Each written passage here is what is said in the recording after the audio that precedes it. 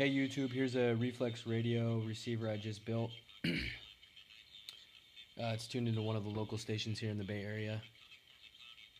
I got my variable capacitor here and my antenna coil here, which make up my tank circuit.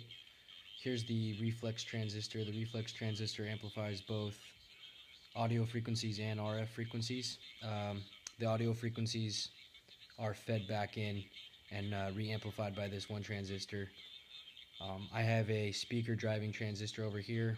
These guys are um, transformers powered by two AA batteries.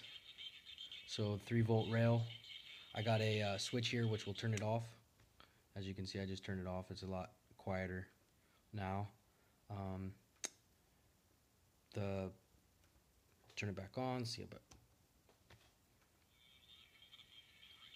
Let's turn to some stations. There's another station.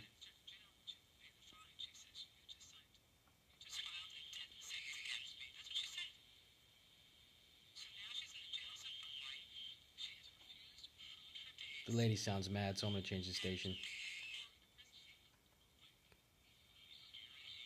There's another station, so several stations.